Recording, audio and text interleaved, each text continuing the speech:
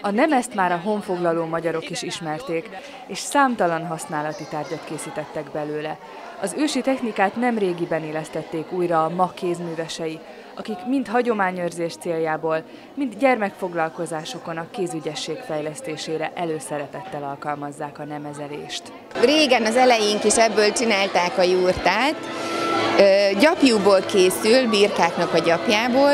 Ugye úgy tudom, hogy több száz birka évi gyapjú termeléséből, gyapjú hozamából készült egy jurta, úgyhogy ez egy nagyon értékes dolog volt. Nem kell hozzá más, csak meleg víz, lanolinos szappan, ez a legjobb a gyapjúhoz, és gyapjú. Úgyhogy simogatással készül, összetöpörödik az anyag, és egymásba kapaszkodnak a gyapjúszálak, miközben simogatjuk őket. Így lehet belőle készíteni nagyon sok minden. Most éppen golyókat formázunk, amiből majd ékszerek lesznek. Színes gyapjúval indul a nemes készítésének folyamata. A legegyszerűbb forma, amit gyúrni lehet belőle, a golyó. Össze ö, próbáljuk tömöríteni golyóvá, amíg száraz gyapjút, jó szorosan. Ez az egésznek a lelke, ez egy kicsit nagyra sikerült, úgyhogy egy kicsi darabot leveszek belőle. És amikor ez így összeáll, akkor egy kicsit meggyúrjuk az ujjunk finoman, majd picikét bevizezzük.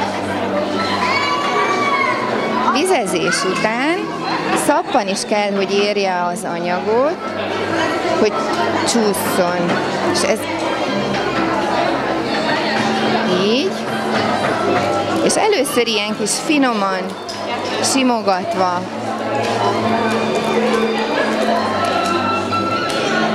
csináljuk, majd amikor érezzük, hogy tömörödik az anya, akkor lehet egy kicsit erősebben is, körülbelül két percig készül el egy golyó. A nemezelés gyerekek számára is egyszerűen elsajátítható és szórakoztató tevékenység lehet, amelynek nyomán kezük munkáját akár ékszerként is viselhetik.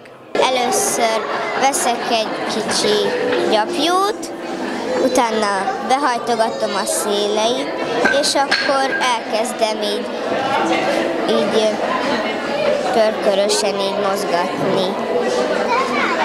És könnyű. És mit tudsz készíteni belőle, ami után már összeállt a nemez?